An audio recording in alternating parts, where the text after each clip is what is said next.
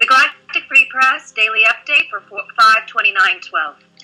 Bringing humanity home, energy event update. The release of the golden energy. Greetings, love beings. Wow. The energies have been intense and will continue as we prepare for our upcoming eclipse, full moon in Sagittarius, and after this, the Venus transit. This incoming energy is all about the feminine energy of pure unconditional love and true compassion. Today we have released the golden energy onto the planet for complete balanced harmonics. For us to release this, a huge amount of blocked energy had to be released yesterday. Here's what Lisa Gawlas shared in her latest blog from this morning. I could feel the feminine vibration so strongly, and each face made up of clouds were crying gold tears.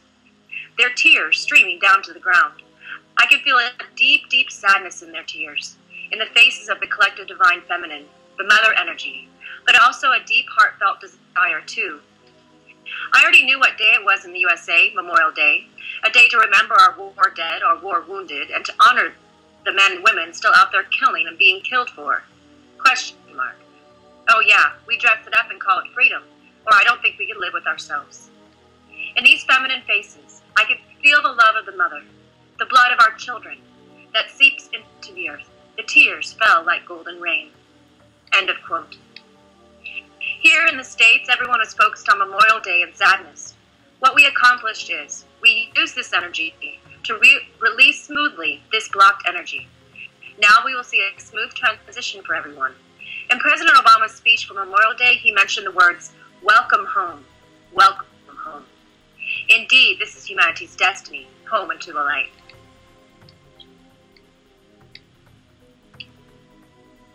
Everyone on this planet contains feminine energies. The fat female is 51% feminine and 49% masculine, and vice versa in the male.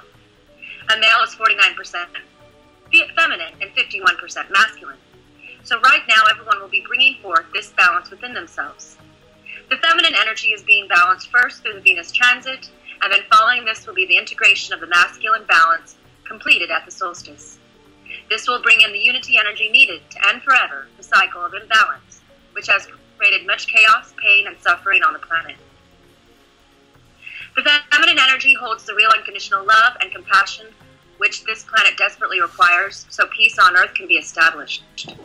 This is the Mother God energy, and with me being here in the physical with Father God, we represent the divine integrated sacred love of the twin flame, a complete unified field in complete balanced harmonics. We are here as your representations of who you really are, which is love. To awaken into this truth is everyone's destiny on this planet. Quoted from Govinda, who wrote about the incoming Venus transit, integrating sacred love. By the time of the second eclipse of the Sun by Venus on June 6, 2012, humanity will have evolved to a place of greater readiness for a higher love. Hopefully, after eight years of processing the shadows of our emotions, awakening intuition, and developing compassion, we will have cleared the psychological obstacles to unconditional love. Then, peace on earth and goodwill towards all people will be possible. Sacred love expands when the divine one person appreciates and honors the divine in another. Thus, the sacred will of love is created, and heaven on earth will manifest for those individuals. As this happens for everyone, peace on earth will become a reality. End of quote. Barcraft, safely to cloak. Peace on earth must be established first. Through our upcoming powerful energy events, we will be collectively accomplishing this part of the mission.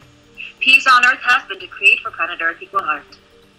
This complete integration for the entire planet for the rounding of the unified field for humanity will be on the solstice at the precise moment the masculine balances with the, balances with the feminine.